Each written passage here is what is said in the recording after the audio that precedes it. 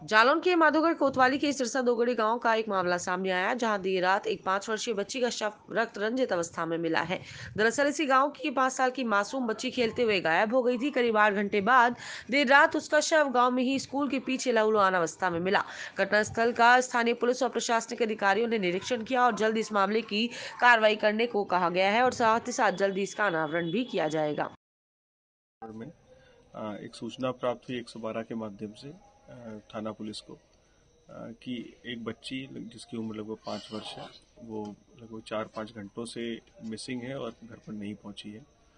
घटना पर तत्काल संज्ञान लेते हुए थाना पुलिस वहाँ पर पहुँची एस एच ओ माधोगढ़, एवं C O additional S P और मेरे द्वारा भी घटनास्थल का निरीक्षण किया गया, सब वहाँ पर देखा गया। तो बच्ची की बॉडी रात में एक अस्पताल है, सरकारी अस्पताल की बिल्डिंग, वहाँ पर मिली है। देखने से प्रतीत हो रहा है अभी तो कि ऊपर से गिरने के कारण उसकी चोट आई लग रही है चेहरे पर। फिर भी अन्य पहलुओं पर भी हम लोग जाँच कर रहे हैं। घर वालों ने कुछ लोगों पर संदेह जताया है। उन लोगों को से भी पूछताछ इसमें की जा रही है। अब इसका पीएम के